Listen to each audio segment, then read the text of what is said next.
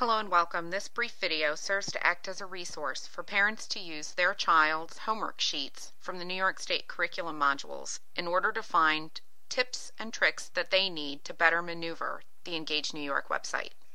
What I currently have up on the screen is a mathematics homework assignment for a third grade student. If we look all the way at the bottom of the sheet, we will notice a series of letters and numbers that are particular importance when we are maneuvering the Engage New York website. 1.a.13. The 13 is merely the page number within the set of documents, however 1.a is of particular importance. When we go to the Engage New York website and click into Common Core Curriculum and Assessments, then come over here onto the left-hand side and hover over Common Core Curriculum, we see that we can click into the Mathematics Curriculum modules. When we do this, we will be able to choose the appropriate grade level of our child. Here, we're clicking on Grade 3 Mathematics. Once we get to this page, this is where the 1.a comes into play. 1 represents the module number.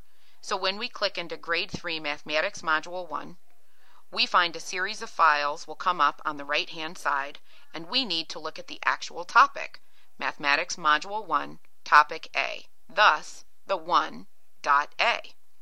When we click into this, we will actually receive a series of files where we can bring up the lessons found within that topic. You will see that topic A has three lessons. We know from the top of the homework sheet that this is lesson one. When we click into it, we will actually be able to see the entire lesson file, including the homework sheet.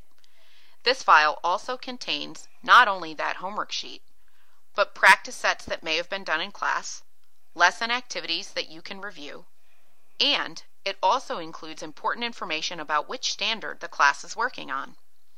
Here at the top of the page, you will see 3.OA.1 is one of the skills that we are working on today. We can use this information to maneuver a different website, the Learn Will LearnZillion website, which is a free resource for parents.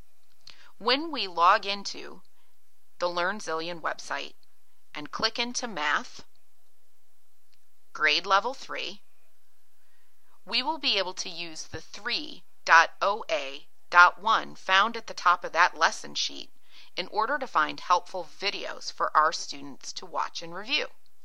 When we choose the domain, OA, and then further narrow it right down to the specific standard found on that sheet, which we know was 3.OA.1, you'll see that 15 different short videos between 3 and 5 minutes in length are returned to us.